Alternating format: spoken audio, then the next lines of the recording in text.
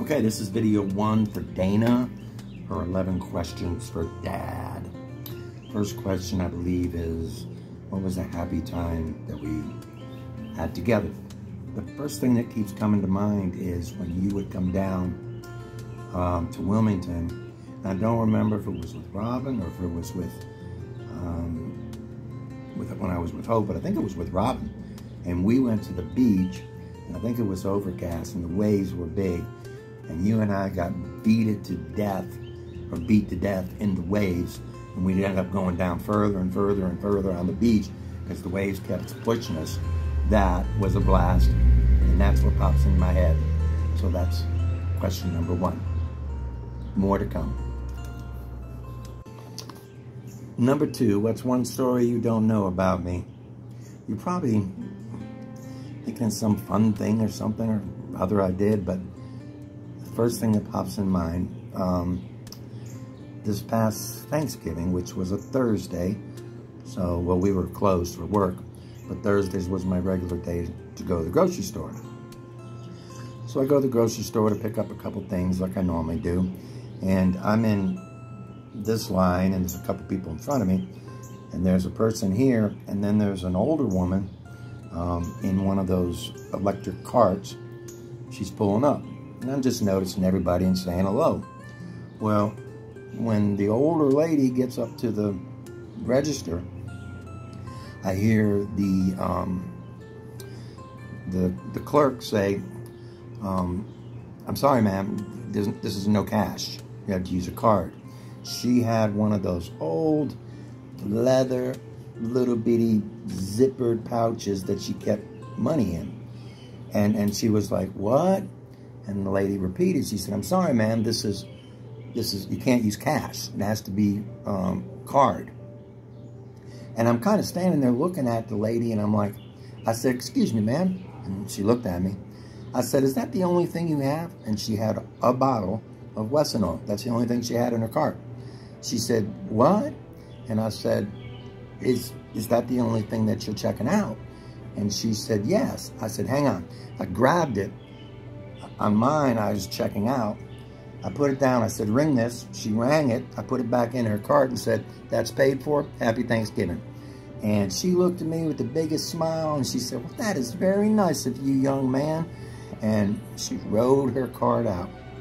And it dawned on me that day, and I actually wrote a poex on the way home. If we just do one thing nice for somebody every day, man, the world would be a better place. And I don't even know what it cost, but it wasn't that much. And it wasn't about that. It was just about helping somebody out. So there's my story I don't think you knew about. To be continued. Okay, we changed locations because my battery was going dead. Uh, third question, what was the thoughts when you first found out you were going to be a father? Well, your mom and I I don't think we were living together yet. I think I was still in my apartment, which I ended up um, Jack taking over. And then Ronnie Pierce and I went on a couple week trip to North, Carol uh, to North Carolina, funny enough. And we went to Myrtle Beach and we went to Topsail Beach, I think. Um, anyway, it was on that trip when I was sitting on the beach one day that I thought, I think I'm ready to have a child. So when we get back home and I'm talking to your mother and I said, so if we had a baby, would the baby have your last name or my last name? And she said, well, if we were married, it would have your last name. If we weren't, it would have my last name. So I think that's when I said, well, let's get married. And there the next week, I believe it was, we got married by the Justice of the Peace. So it was like a long thing coming. And um, it just sounded like the right time to do it. Um, I was, what, all of 22 or 23, I guess. And um, it just sounded like the right thing to do. So that was my first thoughts about being a father. To be continued. What do you enjoy most about being a father?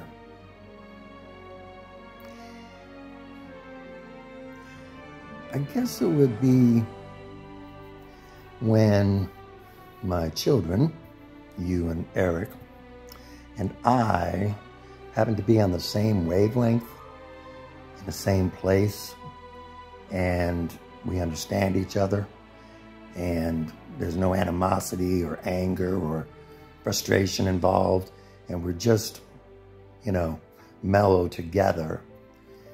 That's that's really cool because it's like a good friend, and then I realize these are my kids, and that's that's kind of cool. That's kind of cool.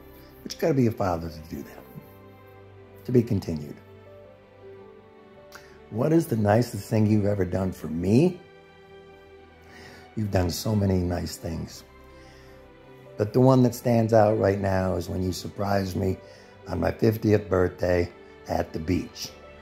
I'm sure you know this story, but maybe you don't. Um, that was really cool. Um, that um, Tom and Shirley picked you up at the airport and then came there. Um, and again, I think you know this story, but Hope and I were driving there, and it was a long drive for us. It was like eight hours or some crazy stuff. But halfway into the trip, um, something came on, the, a commercial on the radio. We've been listening to their music on the radio.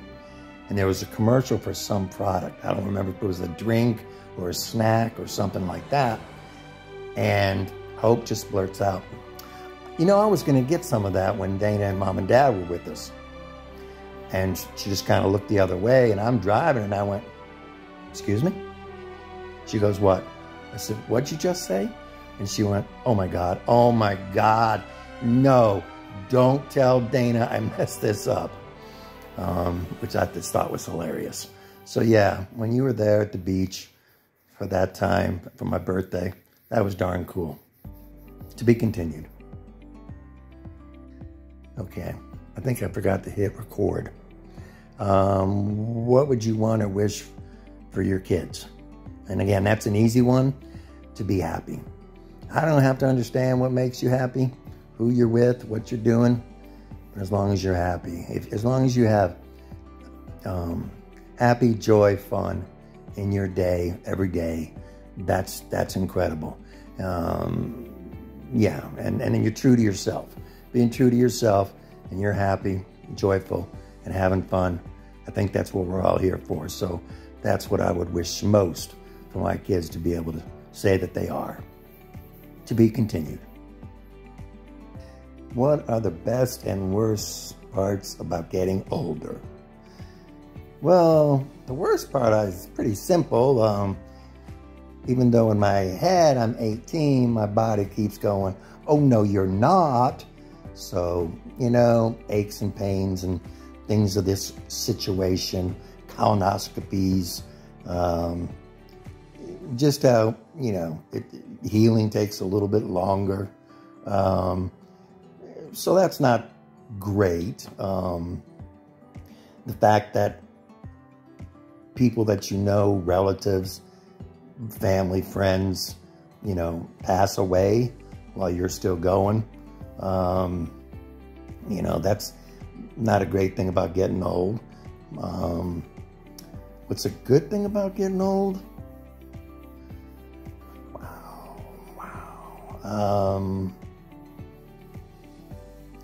memories, um, a little more wisdom, maybe. Um, yeah, it's, um, you know, seeing the kids grow up and then seeing their kids grow up and then going to their kids' weddings. Um, you know, that's, that's pretty cool. That's pretty cool. To be continued. What were the first few days of fatherhood like? Well, immediately I'm pictured myself in the hospital. I know you know the story, but I was in um, scrubs, blue scrubs. And after you were born, which I witnessed, which was crazy and cool at the same time. And then, um, you know, I asked them how much it was going to be for the scrub, and they said they couldn't sell them. I said, well, yeah, but if you don't sell it to me, I'm going to steal it. And they said, well, we can't sell it. So I stole it. Um, it was just a, it's hard to explain, crazy euphoria of OMG. We just created this child. Um, and it, it, was exciting and scary all at the same time. Um, I think right at first it was more exciting, um, less scary, you know. Um, but yeah, and and then watching the process of growing, even in the first couple days, that was pretty cool. Pretty cool. To be continued. What have you learned about love and what has it taught you? Wow. Wow.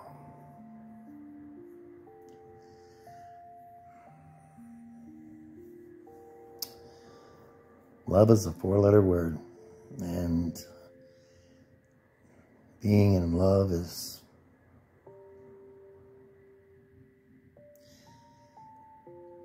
putting yourself out there. You don't even know it. If it goes away, then you know it. Um, what I've learned over the last several years is I need to be my best. So if I come across another person, I'm presenting my best. I don't know that I've done that in the past. Um, but it's a beautiful thing. And as Ali MacGraw said in Love Story,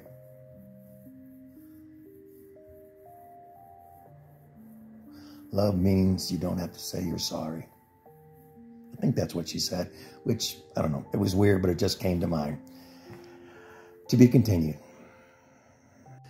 What was the moment I felt most proud of you? A couple things come to mind. One, graduating high school. Um, because I wasn't there for your whole high school. And to come back and watch you do that, that was that was cool that you were able to do that um, on your own with, you know, mom's help, obviously. Um, that was I was pretty proud about that. That you um, kind of turned yourself around from a little bit of a rebel into, uh, you know, accomplishing that. And I have to say, a second time was the last time you went to rehab and came out and stuck with it. I mean, I know that that was a lot, and and I was very proud of you then, and and uh, I still am. And I guess the third time was when I presented you the three year your three year medallion last December. So thank you for doing that, for doing it for you, and uh, I'm proud of you for that. To be continued. What's the one thing I want you to remember after I'm gone? Be true to yourself. Um, I'm going to use a quote that I just saw on Ted Lasso's show. And his therapist said, The truth will set you free, but first it will piss you off. Um, but be true to yourself, you know. Um, expand, explode, um, do things. Never think that you're too young or too old, I mean, to do something. And don't care what other people say. There's that. They have their thing. You know, the, the best thing is to live your life the way you know your path is and don't make excuses for it. Um, be happy, as I said before, and be yourself and you don't have to explain yourself to anybody. You don't you're not here to make other people happy. So make yourself happy and it will come. You know, it will come. So that's what I have to say. I hope you've enjoyed this. I love you.